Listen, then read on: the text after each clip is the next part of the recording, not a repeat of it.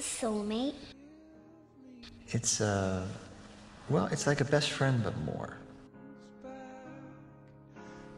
It's the one person in the world who knows you better than anyone else. It's someone who makes you a better person. Actually, they don't make you a better person, you do that yourself. Because they inspire you. A soulmate is someone who you, you carry with you forever.